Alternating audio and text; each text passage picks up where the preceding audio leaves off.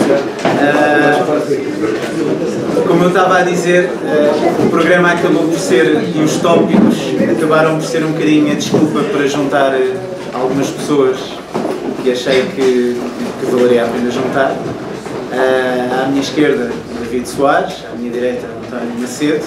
Já agora, acho que é a primeira vez que estamos desde o Fórum Fantástico do ano passado, onde infelizmente não pôde estar, mas que pronto, vale, vale o que vale, mas uh, na, no quadro dos prémios Adamastor foi atribuído o, o prémio de carreira. E tenho não ter estado presente, mas de qualquer maneira. Tivemos pessoalmente, mas não tínhamos estado publicamente. Acho que não foi merecido. Sensibilizado e. Uh, mas de qualquer maneira, uma das razões principais uh, que me fez juntar, para além de já estar habituado a, a, a que as nossas conversas sejam muito, muito densas, muito produtivas, é que, em termos de romances, são duas pessoas uh, das quais eu tenho sentido alguma ausência de livros. Uh, o António, podemos falar um bocadinho mais sobre isso, eu tenho, tenho, sei que tem um livro preparado para publicação. fiquei a saber hoje que irá sair um livro também em breve, não é? Mas é outro. Eu sei, eu sei, é outro, sim. Mas também podemos falar um, um bocadinho disso. O David tem produzido e tem produzido bastante, apesar de noutro registro, do qual eu também gosto muito, na banda desenhada, mas sinto a tua ausência um pouco, e há bocado falávamos aqui, se calhar podíamos começar. É isso, é isso. E se calhar podíamos pegar por aqui, porque falava-se, colocava-se em contraponto os romances e os contos. Tu já trabalhaste nos dois registros, eu se calhar, se o António não se, não se importar de começar aqui pelo David, perguntava-te uh, o que é que tu sentiste como escritor nos dois registros, mas mais do que isso, o que é que sentiste tendo sido a reação dos leitores a esses teus dois registros, portanto, aos teus livros de contos, e até me lembro, uh, num, num certo fórum fantástico, de o plano até era, na altura, todos os anos, de ter um livro de contos, depois isso não, acabou por não, se, não, se, não acontecer, não é? Uh, mas, portanto, uh, produziste alguns, produziste alguns romances, fala-nos um bocadinho de, de da reação também do público a esses dois registros. Se a sentiste diferente ou se a sentiste igual? Boa tarde a todos. Bom, é assim, eu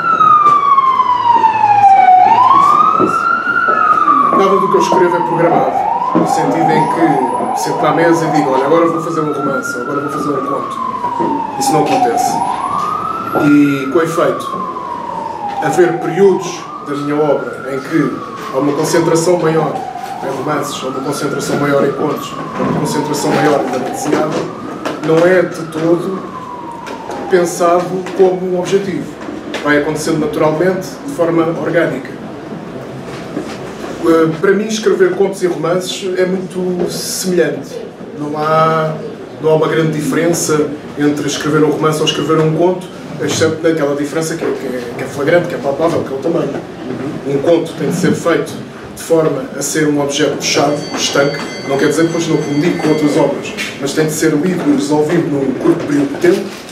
E o romance, como é óbvio, é uma criatura muito maior, de maior envergadura, na qual podemos explanar preocupações e inquietações que vão comunicar de uma forma muito mais polissémica com, com outros aspectos até da nossa própria obra.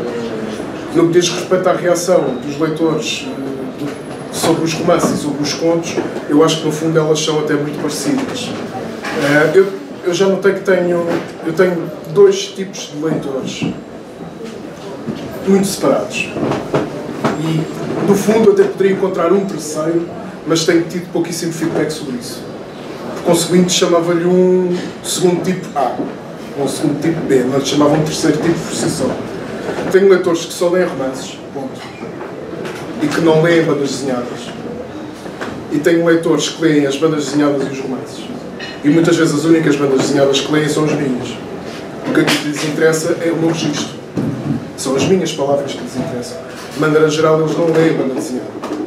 E depois tenho alguns leitores, poucos, que às vezes me enviam alguns e-mails, que gostam muito de contos, no geral. Não leem romances nem BD, só leem contos. Mas já só leem contos por eles próprios. É a natureza deles é ler contos. Gostam daquele formato. E, hum, e esses feedbacks permitem-me, vá lá, criar um retrato típico de qual é o meu leitor. Uh, e eu chego a estas conclusões. Que quem gosta do meu trabalho lê tantas BDs como os romances e os contos e os discos, e depois tenho leitores que só leem os romances. A ausência do romance, que falaste agora, não é programada, não é pensada, porque se, se fores a reparar, eu durante algum tempo não, não publiquei bandas desenhadas. De 2013 a 2009 não publiquei bandas desenhadas. Publiquei outras coisas nesse intervalo de tempo, mas bandas desenhadas não. A partir de 2009 comecei a publicar bandas desenhadas outra vez. E isso coincidiu com um período em que algumas ideias que eu tinha para romances se solidificaram, cristalizaram de uma forma interessante. Uh, e neste momento tenho algumas ideias para romances já preparadas, tenho pelo menos dois projetos para romances, um deles já está começado, todo estruturado, há pouco falava-se aqui dos jardineiros e dos arquitetos. Uh, eu não me considero um jardineiro nem arquiteto, acho que são más metáforas para o ofício da escrita. Principalmente o jardineiro acho uma péssima metáfora. Uh, porque o jardineiro não tem controle nenhum sobre o que está a fazer. Ele semeia, e depois espera que as intempéries sejam benéficas. Este centro foi um jardineiro chinês que tem umas preocupações de ano, indigno, especiais, e então Mas, pronto, eu estava a dizer o seguinte, que é, não, não programa estas coisas. E estava a dizer, tenho, tenho um projeto para um romance já avançado, estruturado. Basta-me chegar à mesa e tipografar e corrigir os apontamentos e os, e os documentos que tenho soltos do computador e os seguintes, ir ao meu esqueleto, à estrutura, aquela estrutura que eu tenho, e terminá-lo do início para o fim. Mas tenho outras coisas para fazer que neste momento são mais importantes. E durante algum tempo isso não vai acontecer.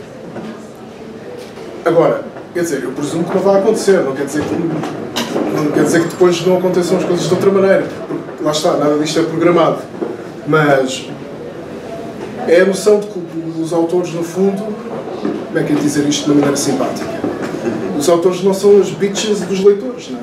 Nós não estamos aqui a toque de caixa a fazer aquilo que eles esperam que a gente faça. Nós fazemos as coisas à medida que nos apetecem, pelo menos faço as coisas, eu faço as coisas por prazer, por gosto, porque gosto de as fazer. Eu assim não, é que saem bem. Assim é que saem bem. Eu faço as coisas em primeiro lugar para mim. Eu escrevo para mim. Uhum. depois, se os indivíduos gostam daquilo que eu escrevo, bem, isso é excelente. Agora, não vou à procura de uma forma objetiva, clara, direta, eu ao encontro daquilo que, que, as pessoas estão à espera de, de, ler. E nesse sentido, os projetos que tenho para romances, que estão já delineados e estruturados e prontos para avançar, eu posso avançar com eles em qualquer altura, mas para já tenho outras coisas mais importantes para fazer e tu até sabes quais são, que me ocupam o tempo e que neste momento para já não, não vou avançar com isso. Mantendo um, bocadinho a conversa no universo que tu uh, criaste nos teus últimos romances, é? portanto, com algumas referências de certa maneira cruzadas ou, ou que davam a noção que havia ali alguma comunicação entre algumas das obras. E como tu dizias muito bem, esse, e, e como já tinhas dito, tenho ideia de já teres referido isso anteriormente de uma forma fantástica, que é que, portanto, o que descreveste agora, de que as obras surgiram um bocadinho, uh, não em conjunto, mas uh, na, na, sequência. Esse universo é um. Portanto, o que tu tens planeado de romances fora isso é ainda dentro desse universo? Ou tu sentes que esse universo já é algo arrumado e as ideias são. Não, o, o, o universo autoral é sempre o mesmo, uhum. que é o meu, e é onde eu vou buscar eh, as ideias e as interrogações que me levam a escrever. Portanto, o universo autoral é aquele, aquele, campo, aquele campo ideário, é sempre o mesmo. É, e é sempre o mesmo por uma razão, é porque eu próprio também eu sou sempre o mesmo. Apesar de ter facetas diferentes, sou sempre a mesma pessoa. E, por conseguinte, o universo autoral não se distancia do autor. Eu não, eu, é, para mim é inconcebível eu agora, de repente, começar a pensar, olha, vou, vou escrever uma coisa vou escrever uma coisa de um, de um género ou de um feitio que nunca, que nunca experimentei fazer antes. Para alguns autores, para alguns executantes, isso será muito fácil de fazer. Mas para mim, não. Tudo aquilo que eu faço tem necessariamente de estar relacionado com aquele universo em particular, em específico. Depois, cada obra em si, obviamente, tem uma voz diferente e tem ideias diferentes que vão olhar para aquele mundo de ângulos diferentes e de perspectivas diferentes e, e perceber o que é que eu ainda não contei, o que é que ainda me falta dizer sobre isto. Há assuntos que, obviamente, que estão fechados, os casos eu já não vou regressar, mas há outros que não estão. E, e nesse sentido, uh, aqueles trabalhos que eu tenho em suspenso são trabalhos que comunicam com esse universo de ideias. Não são necessariamente trabalhos que continuam perspectivas que foram deixadas em aberto por outros trabalhos. Mas são trabalhos que pertencem todos ao mesmo universo autoral. Da minha perspectiva, tanto as bandas desenhadas, como os romances, como os contos, como os discos, pertencem todos ao mesmo universo. São todos parte daquele universo em particular. Têm preocupações e vozes diferentes. Uh, mas não, não, faço, não faço sequelas, não, no sentido em que propositadamente fazer um romance ou um, ou um álbum de banda desenhada comunicasse diretamente com, com, uma cronologia que eu já experimentei antes. Isso não me estou a ver a fazer.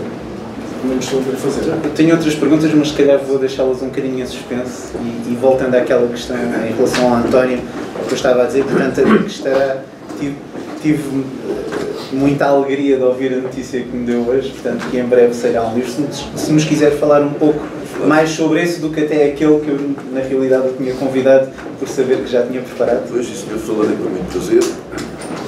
Uh, e antes de mais nada, quero cumprimentar-vos e agradecer a vossa presença. E, no fundo, estamos aqui todos em companhia, como disse há bocadinho, um convívio sempre agradável para visitar. Ora, em relação a coisas minhas propriamente, para já eu tenho, neste momento, prontos para publicação, pendurados, uh, um romance estudioso romance e dois livros de contos. Estão ali na prateleira, estão à espera que algum editor benemérito, bondoso, se lembre. Uh, mas pronto, tenho, uh, em relação a esse livro que vai sair agora, não é exatamente uh, um livro novo. Tenho a as pessoas que estão aqui, que conhecem a banca, não sei, penso que muitas das pessoas que estão aqui conhecem a banca, leram, até terão colecionado foi, é, portanto, uma coletânea dos artigos, que eu escrevi para a banca.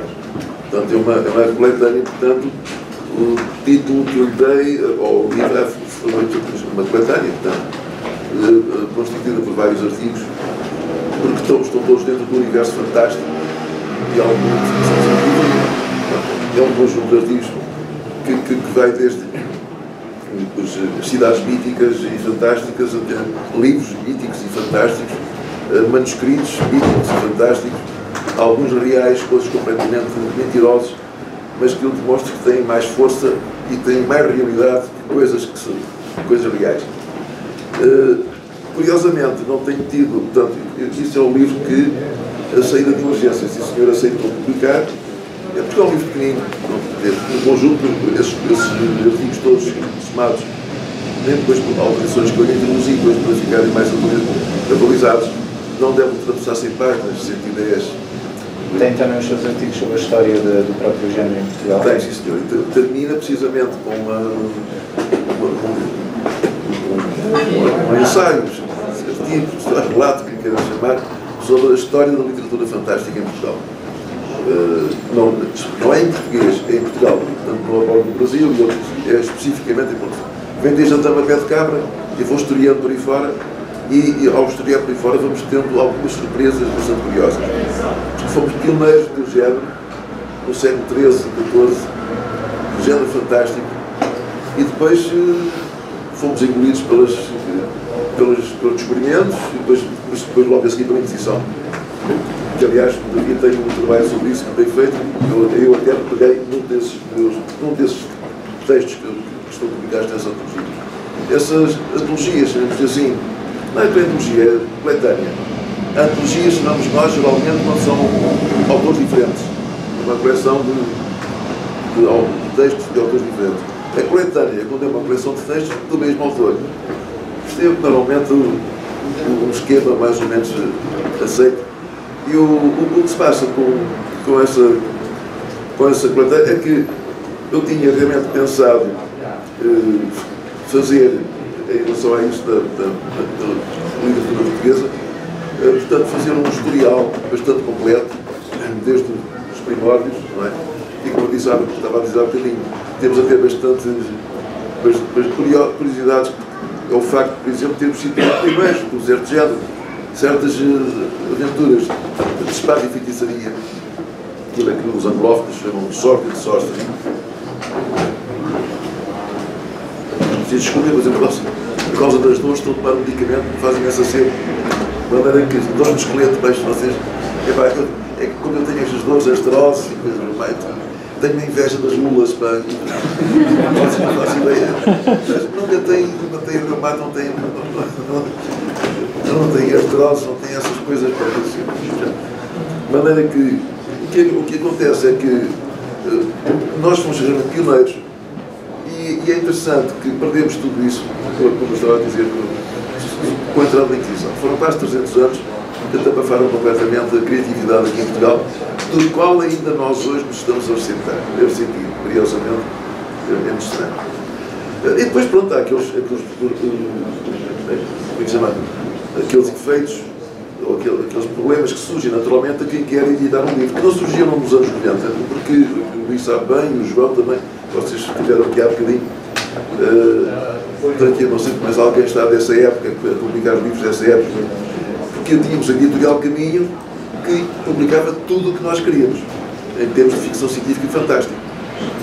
Até nos encomendavam, que era o Delmiro Guimarães, que era o diretor da, da coleção, que era um fã, fanático da ficção científica e fantástica, então até nos encomendava, não sei se o Sr. Luís, agora que estão presentes dessa época, não sei se é mais, o Luís e o João, isso chegou a acontecer provavelmente terá acontecido de alguém encomendar um livro. É pá, tenho publicado agora um livro na coleção Azul, da Caminho, ficção científica e fantástica, mas faz-me falta que precisava de um manuscrito daqui a dois meses. Eu nessa altura estava empregado no escritório, fazia cinema, teve uma licença sem vencimento durante dois meses, escrevia pressa um romance e entregava naquilo. Agora é exatamente o contrário. Pelo menos o que que é publicar um romance, não consigo. O livro de contos, né? tenho um romance e dois, dois livros de contos. Sobre o romance, já agora se queres contar uma, uma pequena curiosidade, que, que consegui bater o recorde de João Caparoli. Como sabem, o Harry Potter, o primeiro Harry Potter foi registrado por 12 editoras e só foi aceito porque esse último editor onde ela bateu a porta estava os primeiros capítulos, do, os três primeiros capítulos do manuscrito em cima da mesa, o editor sem vontade de pegar, mas e o miúdo, o filho dele tinha 9 anos, leu aquilo, chegou-se ao pé do pai e disse: oh, pai, onde é que está o resto disto? Que dos varões, quero ler o resto. Disse: para que é que foi? Este livro, assim, assim, este livro, o que é? Tu queres ler? Eu e eu mostrar aos meus colegas também querem ler, estão todos. Disse o editor: espera lá, isto é para livro do infanto ao juvenil que é capaz de resultar.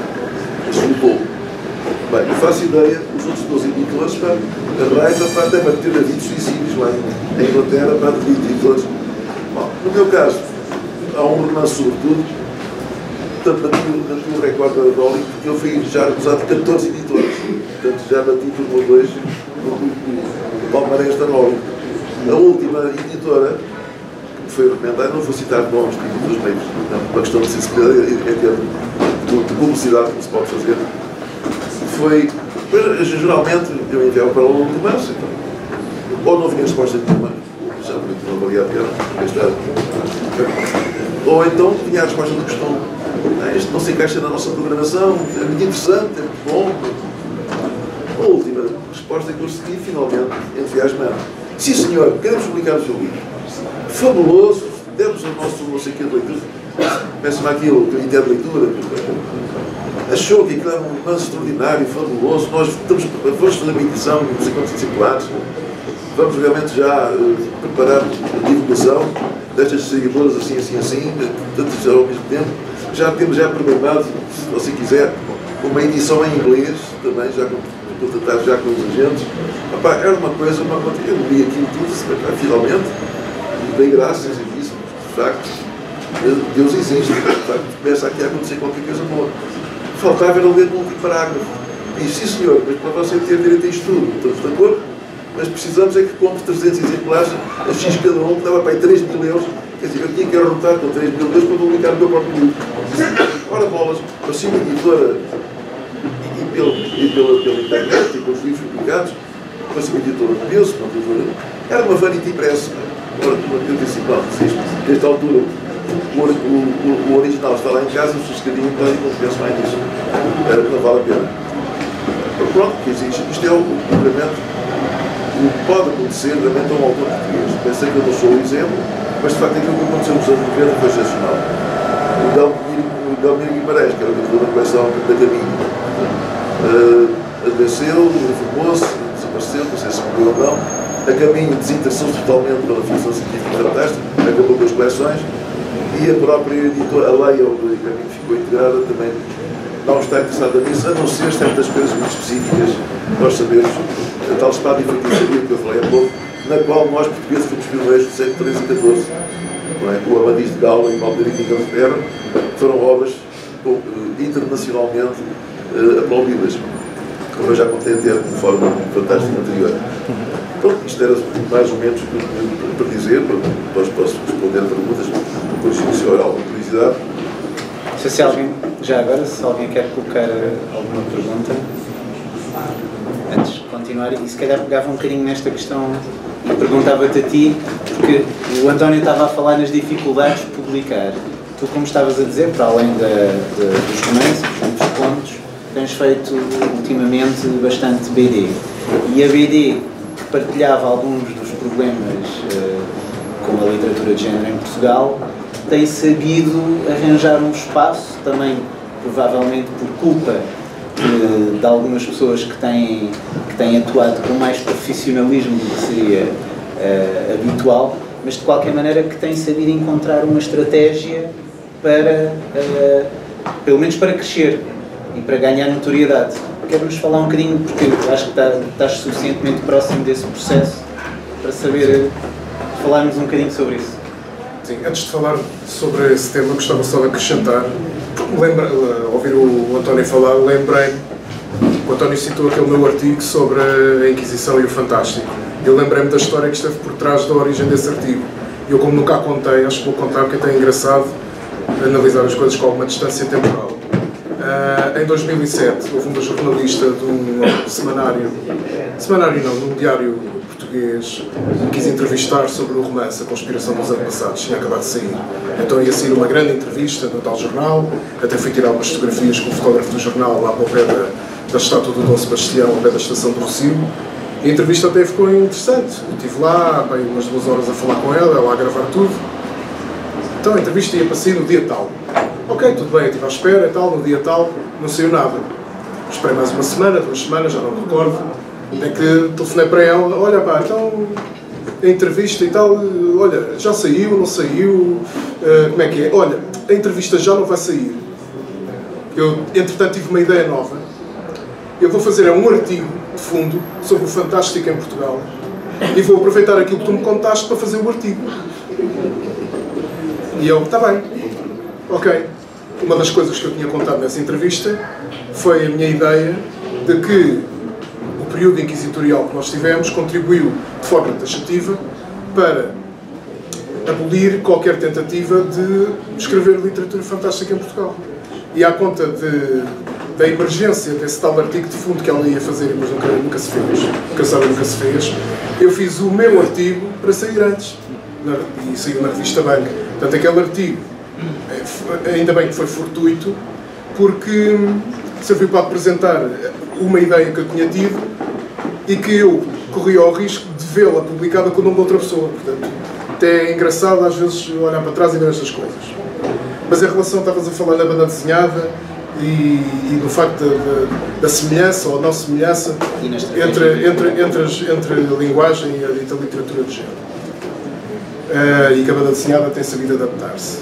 Bom, eu não sei se tem sabido adaptar-se ou não.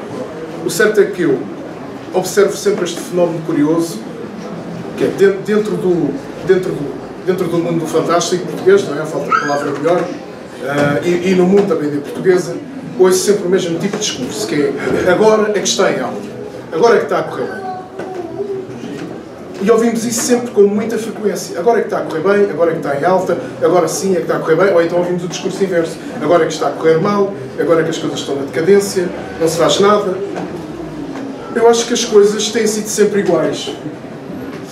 E ciclicamente vêm umas vozes a dizer que está a correr bem, porque entretanto apareceram alguns livros que tiveram algum espaço na comunicação social, ou foram falados aqui e ali, então dá a ilusão de que está em alta, mas não está em alta e não está em baixa. Está como sempre esteve. É? Há aquele registro muito pouco sismográfico, é? há as curvas de Bell e depois há o flatline.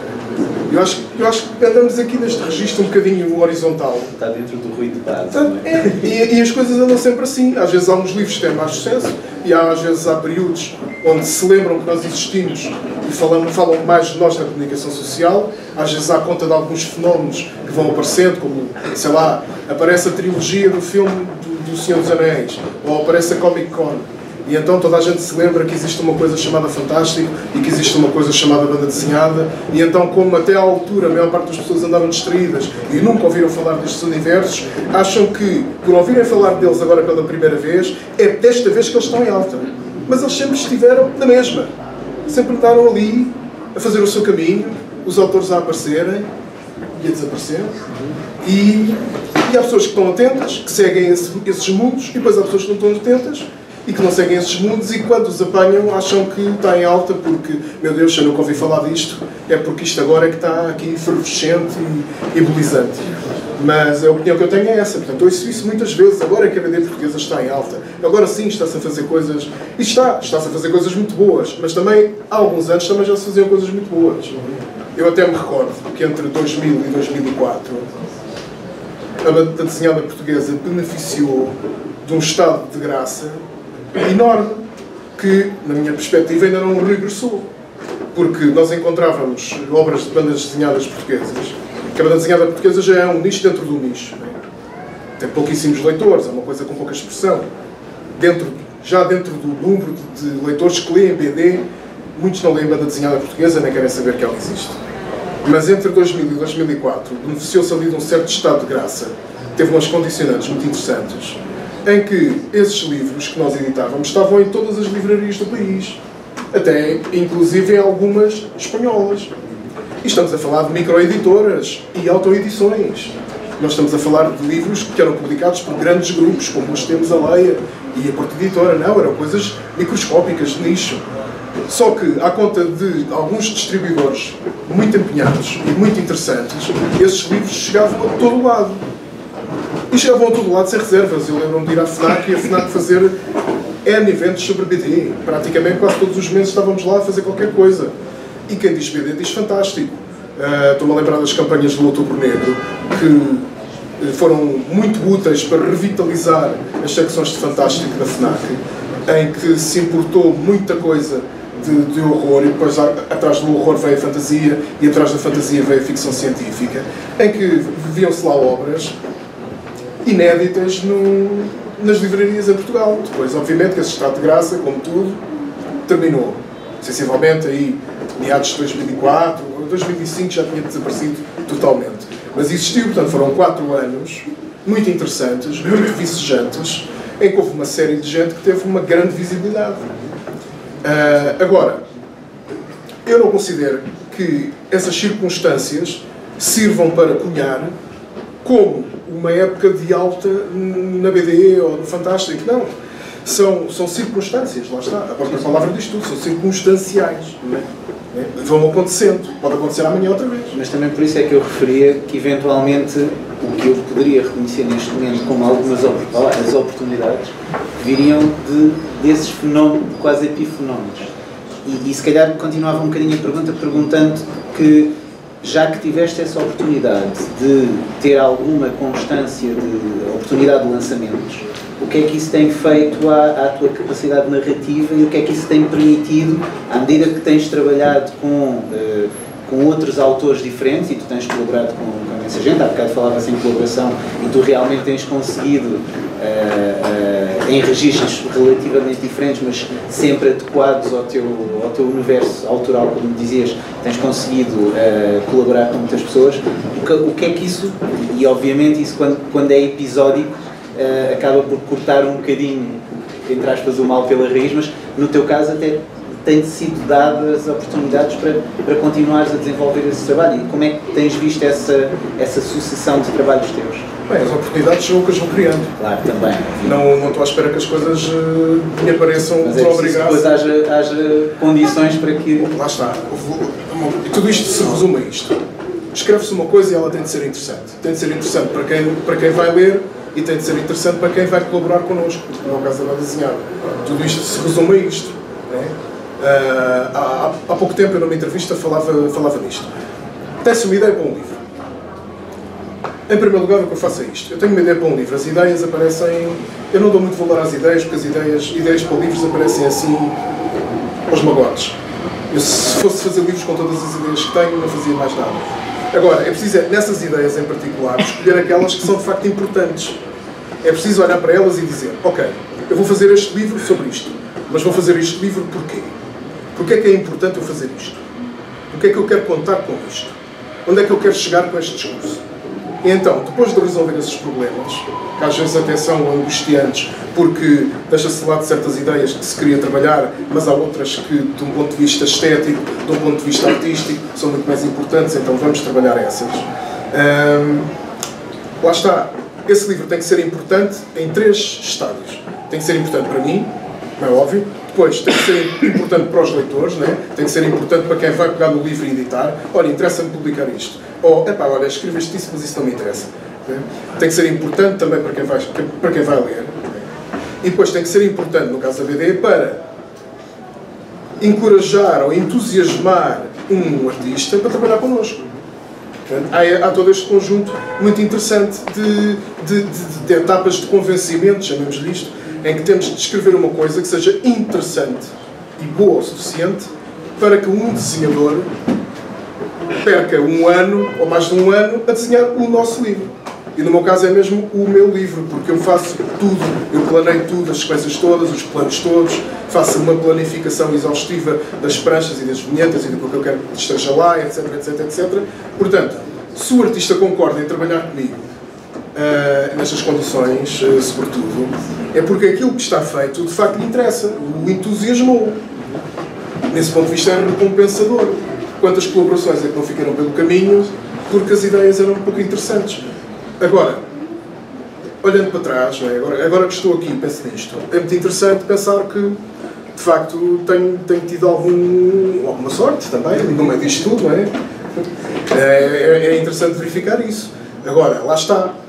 Se, se, se as oportunidades não, não aparecessem, eu iria sempre procurá-las. Sim, tu já foste um, um- editor independente. Sim, já fui um editor independente e na altura criei a editora independente eh, para publicar os meus trabalhos e para publicar também trabalhos de outros artistas que aparecessem e que eu considerasse que eram bons o suficientes. Eu lembro-me na altura, quando apareci no meio da BD portuguesa, bem, em 97, 98, e andava a mostrar um, um livro de BD que eu tinha feito às editoras. Eh, também não eram muitas, basicamente. eh, o, número, o número de editoras que há hoje em dia é em, em, em simetria muito semelhante ao número de editoras que existiam naquela época. Houve, houve umas que desapareceram e apareceram umas novas. Mas o, o número em si, a massa crítica, é, é muito semelhante, se não idêntica. E eu na altura andava a mostrar o livro hum, e obviamente que levava com aqueles clichês do costume. Ah, agora não pode ser porque não conseguimos calendarizar isto. Ah, eu uma vez até fui falar com o Rui Brito, hoje a gente ri-se disto, até a gente acha graça a isto, dele a dizer que não, não publicava o meu livro porque na altura não, a povo não estava muito virada para publicar coisas em preto e branco. Mas pronto, é estas situações engraçadas que depois até publiquei um livro de contos com ele, portanto está, está tudo bem, está tudo resolvido, Está tudo é, perdoado. está tudo perdoado. portanto, Mas é, é- lá está, é, é isso, é, é não desistir. Tudo isto se resume a não desistir. Então, se calhar pegava nisso e perguntava ao António o que é que ainda o motiva, e já que o, que o David falava muito em motivação, o que é que ainda o motiva para pensar e para escrever? Que temas é que ainda o motivam? Que ainda me motiva é, é, realmente eu sou doido, porque eu sou aqui em Portugal. Não, há sempre uma é compulsivo. Não é? Eu ultimamente tenho escrito pouco, até tenho estado doente, isso não, não, ajuda a criatividade. Mas realmente é, é fascinante. Aliás, devo dizer que, eh, como sabem, pelo menos algumas das pessoas que aqui estão sabem que eu, durante fiz cinema, fiz, cine- fui realizador de cinema de filmes durante 30 e tal anos. Mas eu sempre trabalhei em paralelo, com, eu escrevi sempre os guiões dos meus filmes, os argumentos, os guiões, uh, excetuando dois ou três filmes que fui buscar uh, autores, como exemplo Domingo Tarde, que o autor é inspirado no romance do Fernando Namora, A Promessa, que é inspirado no promessa teatro de Santareno, e ah, O Princípio da Sabedoria, que é inspirado num conto uh, de um catalão do Per quem eu era muito amigo. Eu, visitei lá na Catalunha algumas vezes. E realmente, o, o, o, que há, o que, o que motiva de facto é essa possibilidade de translação de umas coisas para as outras. Como eu disse, eu, eu sempre escrevi os guiões dos meus, dos meus filmes. E, portanto, escrever um guião, para mim, não é muito diferente de escrever uma peça de teatro ou de escrever um romance. Claro que é diferentíssimo. Mas, em termos de estrutura mental, uma pessoa tem que criar uma disposição para encontrar um certo de ligações, as chamadas ligações diegéticas, em termos da semiótica. um colega meu que dizia que os, os semióticos eram os, aqueles, os realizadores de filmes que realizadores de filmes que, que não tinham, tinham uma venda no olho, eram os, eram os semióticos que só tinham metade da visão. De maneira que essa, essa visão, digamos, diegética, ou seja, a transversalidade também dos temas, parece extremamente interessante. Eu, por exemplo, sou capaz de pegar num tema que já trabalhei em filme e usar o mesmo tema numa peça de teatro e usar o mesmo tema numa, num romance. Portanto, agora, são trabalhos diferentes, mas são igualmente fascinantes. Tudo o que motiva é o fascínio, que é realmente, é pá, cada um é doidinho à sua maneira. Eh, agora, para quê? Eu, neste momento, estou a fazer, aliás, tenho feito ultimamente, como já disse, uh, não tem esperanças de ir a ser publicado. Portanto, eu não estou com. Mas continuo a escrever. Às vezes acontecem convites, como este antologia erótica, uh, que foi a ser organizado pelo Luís e pelo, pelo Seixas lá do domingo. Bom, e eu disse, olha, já agora, como divertido, este, pelo menos este, este saiu, vai ser publicado. Uh, isto é, achas que sim? Será que vai ser mesmo publicado? Não posso dizer, estão muitas testemunhas. A antologia vai ser. Eu já desconfio tudo. Aqui em Portugal a gente está sempre esta, esta desconfiança. Bom, portanto, o que vai motivando é precisamente essa. É o prazer da escrita, o prazer da escrita, quer dizer, o fascínio que há em inventar o universo. Eu até costumo dizer que quando nós criamos um universo, nós temos que fazer um romance, uma peça de teatro, um filme, uma longa-metragem com personagens se os personagens não tiverem motivações reais, se os personagens não forem palpáveis e sensíveis, se não tiverem até pequenos tiques caricatos, que é típico e natural no ser humano, eh, aquilo passa a ser de pau, quer dizer, não, não tem graça nenhuma. E isso é que é fascinante, é que realmente criar um universo. Há até um, um dos contos meus, inspirado aliás no Rei Bradbury, em que se diz que é um Fernando que escreve os romances e os personagens, fazia umas coisas tremendas por eles e houve alguém que o avisou, uma amiga dele, que dizia, pá, tem cuidado como escreves, porque depois quando as pessoas. há um universo, um super universo, só constituído pelos personagens dos livros de ficção. Portanto, o, a Teresa do Capítulo de Castelo Branco diz isto, alguns, tal, e sucessivamente, todas essas personagens, a Julieta do, do Shakespeare, é um meta-universo e as pessoas vivem todos lá. E há uma coisa, os escritores, o castigo deles, é, vão viver para esse universo. Portanto, tem muito cuidado com o que crias nos teus romances, porque um dia terás que conviver com as manias todas das personagens que inventaste e puseste nos teus livros. Eu, quando escrevi isto, está, está num livro meu, não, não sei se é um se é um romance, fiquei preocupado e disse: Oh diabo, isso eu tenho razão. o melhor é parar por aqui. Bom, de qualquer maneira, é, é, isso era só para acabar, para dizer, acho que de facto a meditação da criação do universo pode ser, e, e, de facto no meu caso, pude ter a sorte, eh, não deve ser, não deve ser frequente em Portugal, ser autor de romances, que eu tenho aí 8 ou 10 romances publicados, ser autor de filmes, tenho aqui uns 11 filmes feitos, e de peças de teatro é que só tenho 3. Contei aí, mas permitiu trabalhar nessas várias áreas, áreas ao longo de muitos anos. Eu, em cinema trabalhei por cima de 30 anos, até por formar, agora já não faço. Uh, não é bem verdade. Eu tenho uma surpresa. Não é oportuno em relação ao cinema. Uh, provavelmente, se tudo bem, se eu não morrer entretanto, estas coletas todas, não é, uh, é capaz de sair um filme novo dele em 2016. Mas enfim, a ver vamos, como dizia o Sérgio. Até lá. A minha exclamação foi só porque tinha ideia de já ter lido a dizer que não voltaria aí. Por isso é que foi a minha exclamação. Não, mas é verdade. mas fico muito contente. Isto, mas é um caso excepcional que depois falaremos disso. Não sei se alguém quer colocar alguma questão, como há pouco abria. Porque senão já agora uma curiosidade, e como o António teve realmente um género fantástico em Portugal, como estava a dizer, os universos criados têm alguns dos universos mais marcantes, principalmente em dois dos seus filmes, se nunca recebeu nenhuma proposta de passar esses universos para a literatura ou se nunca teve essa tentação de eventualmente pegar. Não, foi como eu disse, quer dizer, a proposta não tive. Tive foi a tentação, eu até fiz, como já disse, quer dizer, eh, eh, há, há certos temas e textos, por exemplo, eh, o último romance que foi publicado por ele pela Caminho, que se chama As Furtivas Pegadas da Serpente, é inspirado num guião de um filme que eu quis fazer, que eu na altura ainda era cineasta, submeti ao Instituto de Cinema e foi o subsídio foi recusado várias vezes.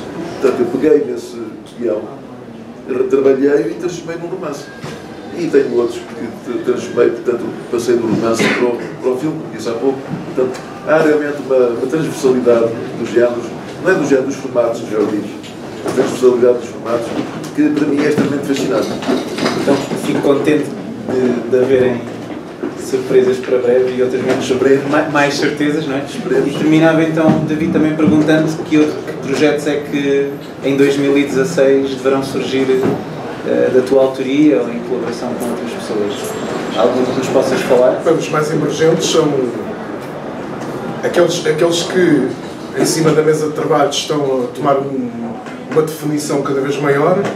É um, um novo livro de banda desenhada que vai uh, observar também o fenómeno da guerra, tal como o poema Morre também observa, uh, mas de uma forma totalmente diferente.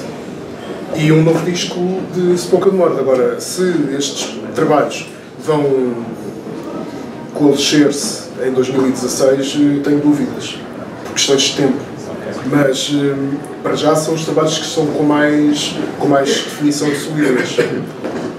Ou então, se ninguém quer colocar uma questão, resta-me agradecer ao, David e ao António a presença.